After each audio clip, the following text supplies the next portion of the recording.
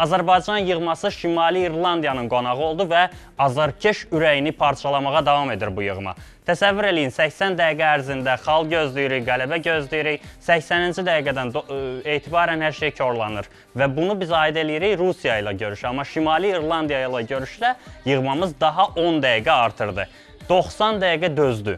Daha 6 dəqiqə artırdı. 96 dəqiqə dözdü və 96-cı dəqiqədə bütün ümidlər puç oldu. Çünki yığma qol buraxdı və elə bir qol buraxdı ki, onu izah eləmək sadəcə və sadəcə mümkünsüzdür. Bəlkə də mümkündür kimlər üçünsə və hətta bəzi mütəxəssislər bu oyunu çox yaxşı oyun da adlandırırlar. Emin Abbasov isə elələri ilə elələri ilə razı deyil. Emin Abbasovun müsahibəsini almışıq. Emin Abbasov yığmamızın maçını təhlil eləyib, çatışmazlıqları dilə gətirib, bildirib nəyə görə biz uduzduq. Ümumiyyətlə bu yaxşı nəticə idimi, qənaətbəxş nəticə idimi? Hər halda bu barədə Emin Abbasov danışacaq. Hal-hazırda ə, siz onu eşidəcəksiniz və öz fikirlərini paylaşacaq. Daha sonra isə telestadion davam edəcək. Salam Cənub televiziyasının və Telestadion verilişinin izləyiciləri. Mən Emin Abbasov, Sportal AZ saytının baş redaktoru. Bu gün sizə Şimali İrlandiya və Azərbaycan yığmaları arasında keçirilən maçı təhlil etməyə çalışacağam. Ümumiyyətlə e, Şimali İrlandiya yığması e, sabit yığma deyil, belə də demək olar. Çünki öz evində doğma divarlar arasında Lüksemburqla 1-1 oynadıqdan sonra səfərdə Portuqaliyada elçi etməklə hamını təəccübləndirir.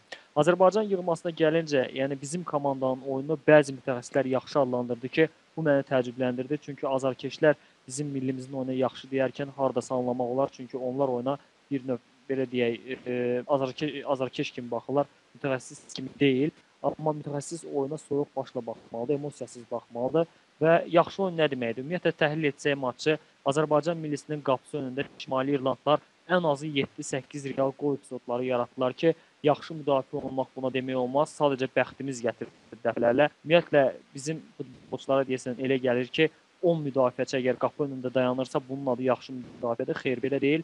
Hətta 3 müdafiəçi ilə yaxşı müdafiə olmaq olar. Bu da yaxşı mövqe seçimi ilə əlaqələndirmək olar bunu. Qola gəldikdə mən bunu ə, konkret olaraq Rauf Əliyevin fərdi ustalığı ilə əlaqələndirirəm. Uzaq bir məsafədən, təxminən 35 metrlik bir məsafədən əla zərbə endirdi ki, hər dəfə də belə qollar vurmaq olmur. Təbrik edirəm Rauf, yəni əla bir qol qazandırdı komandamıza, amma bu da belə bir məntiqi hücum deyildi. Ümumiyyətlə 90 dəqiqə ərzində komandamız mənə görə yalnız bir dəfə məntiqi hücum təşkil edə bildi ki, oyunun sonlarında Vüqar Nadirov sağ cinahdan hücum təşkil etdi və onun asmasından sonra Vaqif Cavadovun zərbəsi alınmadı. Yəni 90 dəqiqəni təhlil eləyəndə müdafiədə yenə həmişə kim boşluqlar, hücum qurmaqda çətinlik çəkirik. Bu oyuna necə yaxşı deyirlər, yaxşı anlamı ümumiyyətlə deyəndə nəyə nəzər tuturlar? Mən bunu anlamıram. E, və bir şey deyim ki, oyundan sonra Berti Fox hətta bəxtdən gileylənib. Məncə ayıbdır, çünki bəxt elə məhz bizim tərəfimizdə idi. E, yəni belə fikirlər söyləmək ümumiyyətlə məntiqsizlikdir. Amma e, bu e, heç-heçə insanları aldada bilər. Ümumiyyətlə 4 oyunda cəmi 4 top buraxmışıq. Elə düşünə bilərlər ki, biz yaxşı müdafiə olunuruq, amma bunlar aldadıcıdır.